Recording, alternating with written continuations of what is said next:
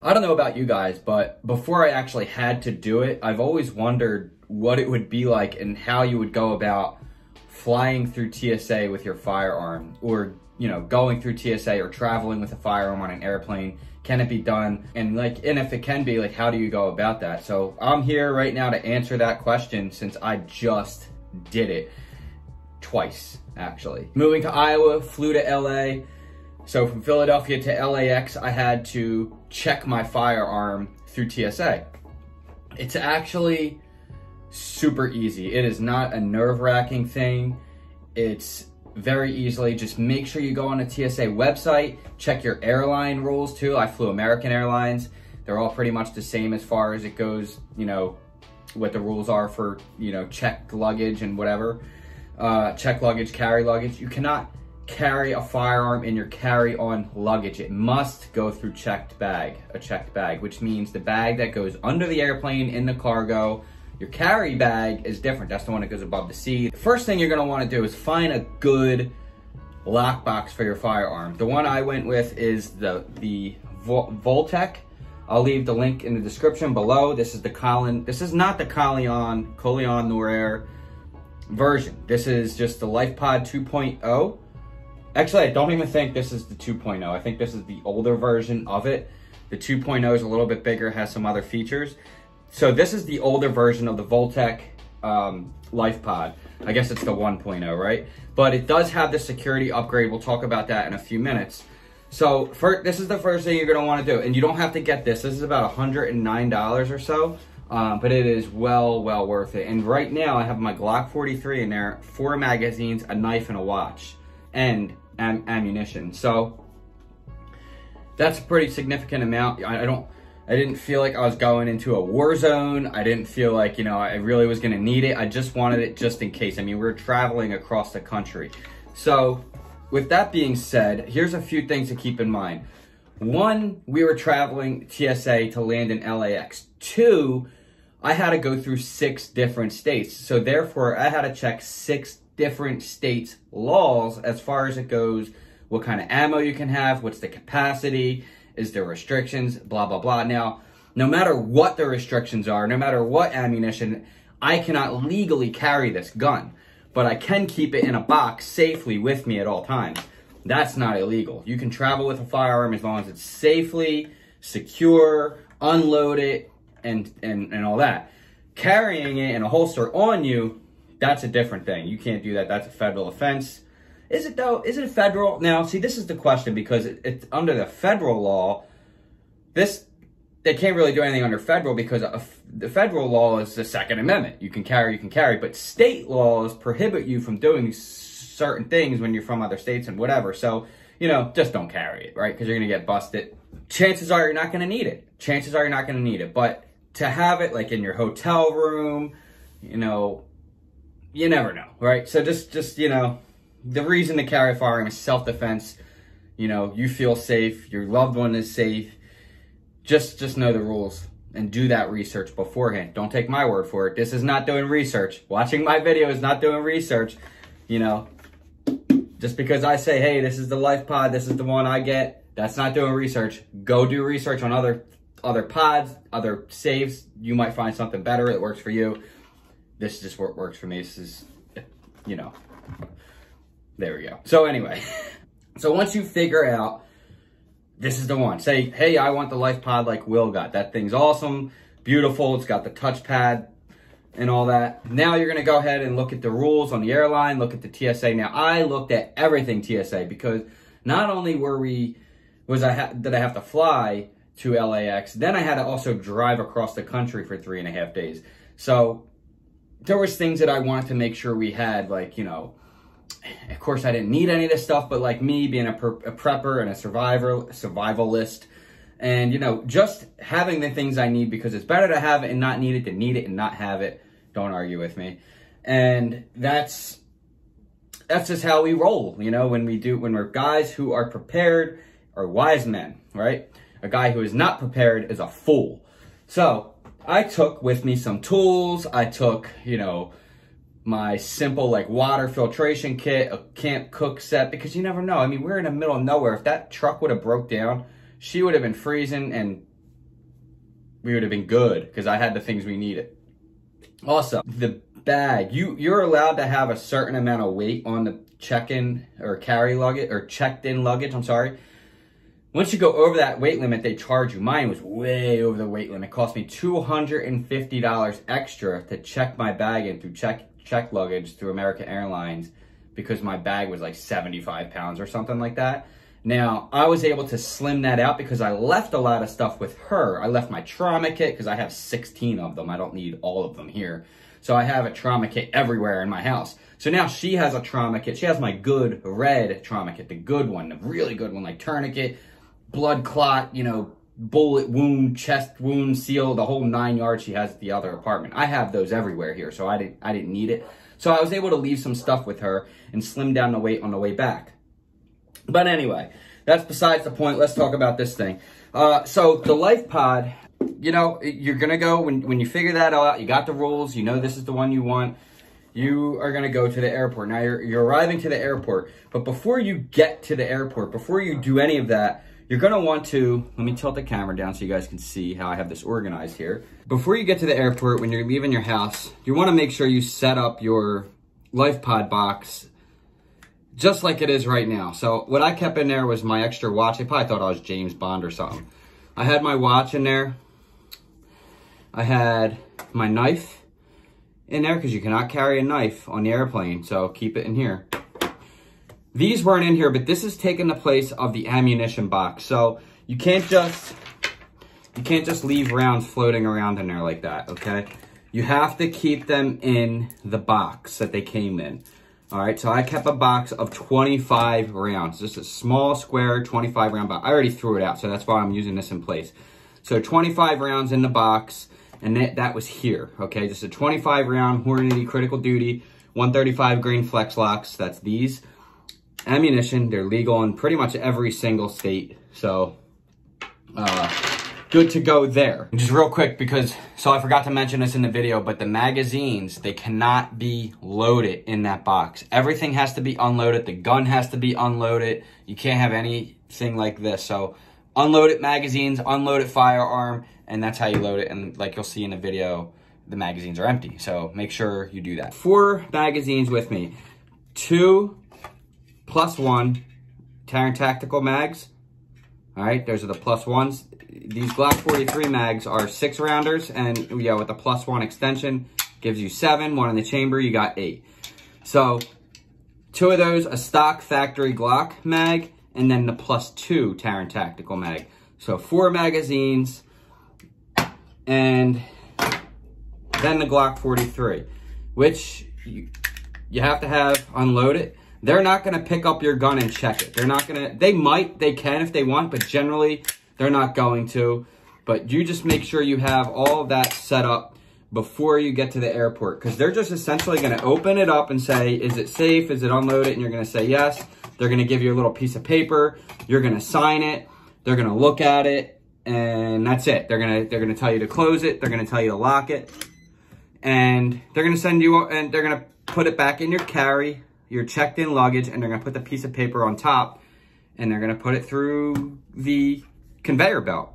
That's, that's essentially it. I mean, you know, once you do that, you can't, you can't keep the ammo. You, my holster wouldn't fit in there, but that's okay. The holster, you can actually keep, you don't actually have to keep the holster. You can throw that in your check bag. You can throw it in your carry bag, whatever. It doesn't, it doesn't really matter. Uh, so this holster and my Neomag pocket magazine clip, which is the little guy here that you keep an extra mag and it just basically looks like a pocket knife when you have an extra mag on you. Now, I wasn't able to carry my firearm either way in this situation in any of these states. So uh, there wasn't really any need for me to have this, but just in case I did bring it. And these two guys, they just went right in my checked, or uh, my carry luggage, my carry on the plane luggage. Said absolutely nothing about it. I carried a flashlight. Um, I just carried my little EDC Olight, uh, sunglasses. I had some accessories. I mean, this is the bag I took on the actual airplane. And it just had my MacBook, all my electronics, all the important stuff, camera gear, all that stuff was in here, and my holster. They said nothing about it. Actually, under the TSA website in their in their guidelines, you can do that. So pretty awesome. So the Life Pod, I, I really like it. It's an electronic box. It's wa excuse me. It's waterproof, seals up really nicely. You just lock it. TSA is gonna look at it. They're gonna, they're gonna, when they're when they're done doing their check, they're gonna say, okay, lock it for us. You're gonna lock it. They're gonna make sure they're gonna see if it's locked. They're not gonna be able to open it. They're gonna say, okay, put it in your bag. They're gonna give you that piece of paper. You're gonna sign it. It's gonna say safely unloaded firearms or whatever. I forgot, I threw the paper out, but I was gonna save it for the video, but I don't know where it, where it is. They're gonna put that right on top in your checked in luggage. And right down the conveyor it goes. Now, here's the benefit to this. What's cool about this situation is they take extra care of your bag because they do not want to lose your firearm. They do not want to deal with someone picking up that bag. It has a gun in it. They don't, they don't want to deal with that. They're going to take extra, extra care. The chances of your bag getting lost when you check a firearm in through TSA under any airport or under any airline is a snowball's chance in hell. I mean, they actually go out of their way to make sure that that bag gets to you. And that's awesome. And I'll explain. So when I land it in LAX, you know, you stand by the conveyor. Lee's on the, she's out, tell me when the conveyor starts. I said, the conveyor started. So bags are starting to come down the chute. They're going around the conveyor and I'm waiting, I'm waiting and my bags, nope, not coming down that conveyor. So there was a, a lady there who was, you know, turning bags and making sure they're not getting caught up on other bags and stuff that worked at the, you know, for the airline. And I walked over to her, I said, hey, my bag never came down. I'm a little concerned because it has a firearm in it. And she goes, oh, I have your bag. It's over here in the special area. I'm like, the special area? So yeah, they they uh, they don't send it down with the regular bags because you know the chance of somebody picking it up, you know, you never know. So they take extra precautions. They they put it in a separate area. You go get your bag from the actual desk area. They take your license, they check it, your bag, boom. It was so easy and simple. In fact, I will never travel on an airline without my gun being checked through my checked bag ever again because just the extra care you get for it, I mean, it's unbelievable. Uh, you don't get mixed in with the other luggage. It's it's a beautiful thing, right? Kind of kind of a little loophole there, right?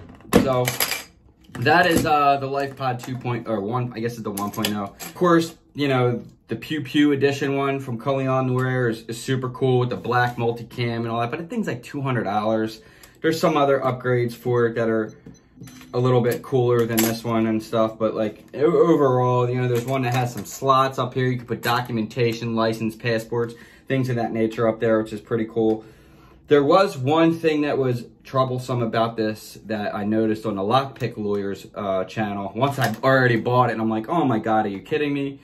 Well, basically, so right here is the reprogram button, right? So this is how you program your lock right here with that button. You hit that button, you put a sequence in, you do it again, you do it again, and then it programs your code in. So when this thing's shut, you can actually slip a fork inside here and hit that button and essentially reprogram the code, hit the button, reprogram, hit the button, reprogram, and then essentially just open the thing because you can reprogram it while it's locked. But new security upgrade, that program button is disengaged. It does, it will not work. It will not reprogram when that button is locked. So when that, when that, when this is locked, that disengages that reprogram button. So even if you put a fork in there and you try to do it, if this is locked, it won't do it. Just the same as like when you, and actually they changed that. They did that upgrade because of the Lockpick Lawyers video. So could you imagine being the guy who breaks into a product and makes them change it because you made a video opening it? It's awesome. So when you when you go to reprogram, you actually have to unlock this. You can't have it locked when you're reprogramming. So that's it's part of the sequence now. So it's pretty cool. I actually really like it. And you know, that's how you fly TSA. My experience with it was was really good. I had no issues at all when I when I left the small tiny airport in Iowa that I flew out of to get to Chicago, that airport was a little bit different. When I told them I was checking, you know, you walk up to the desk and go, "Hey, I'm checking a firearm," and that's it. Just real calm, cool. Don't be nervous. Don't act suspicious. Just say, "Hey, I got a firearm. I got to check in." And they just say, "Okay, open it up. Open your bag. Take it out. Open it." and they'll ask you first, is it unloaded? Now, there might be a sketchy TSA person there to go, you know, because you're opening, and they don't know if you're going to just pull a gun out, you know, so be, you know, make sure they can see everything. Don't just like hide thing, like make sure they can see it. When you, when you can, when you're going to open this thing, make sure they can see, keep your hand nice and clear. Don't be super nervous about it and be like a robot. Just grab it nice and calm and make sure they can see it. Say, hey, do you want me to put it here so you can see? You know, I'd feel better if you came over. You know, just got to imagine like you have a gun inside this thing. And if you're like, if you just like grab it real quick and do it, you're probably to get tackled. So like, don't do that. Think of it from their point of view. They're probably a little nervous. They don't know you and you know, you, you just never know these days. So take that into mind. Going into that small little airport, when I said, hey, I got a firearm to check in, she's right on the radio. Another guy came over and she looked super nervous, like she'd never had to deal with that before. So I just was like, hey, I'm gonna I'm gonna open it. You guys can see there it is. And then I, you know, I locked it or whatever.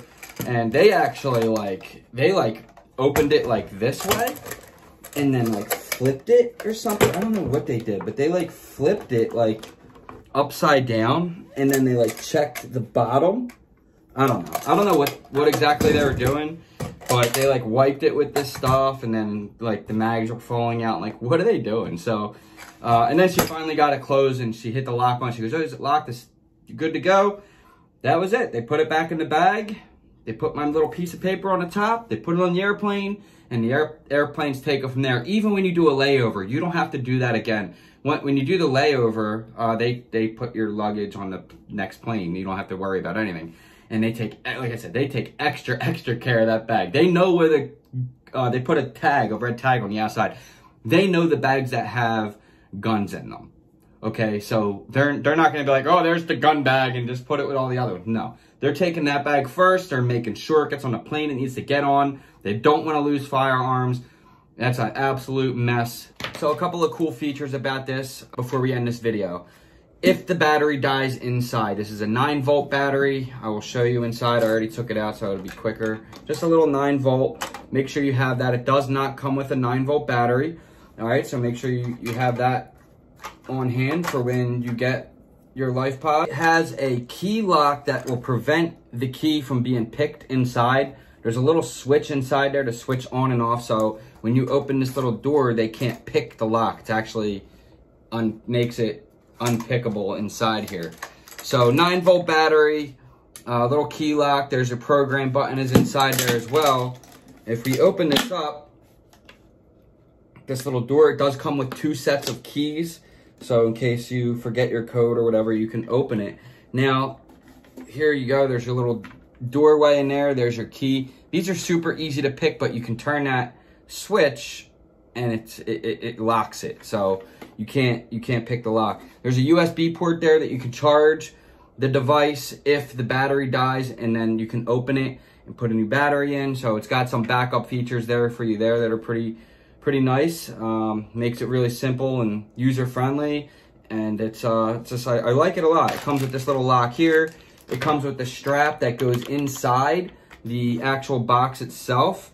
So when you you know, this little strap that goes here, you can actually strap this to like a fence pole or a tree or something when you're camping, whatever. So nobody can just walk away with your, your, your pod.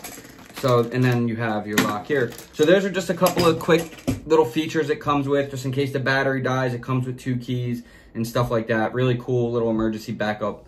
And uh, really, there's, there's, it's dummy proof kind of, so it's pretty cool good to go there. And that, uh, guys, that's pretty much it. It's, it's really easy. Don't stress about it.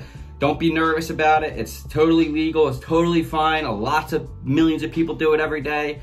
It's all good. So don't be don't be scared about it. You could travel with AR-15s. You could travel with whatever. I'm not going to bring my AR with me, right? But uh, I am going to drive across the country with the thing. So, you know, but that's just going to be unloaded. It's going to be in the U-Haul and all that stuff. So yeah, I'm looking forward to it and we'll do more videos on that if you like. Let me know what you guys think of this, if you have one or your experience with TSA. I'd love to hear from you in the comments below. Like, share, subscribe. Patreon link will be below. I'll see you guys in the next one. I love you all. Peace.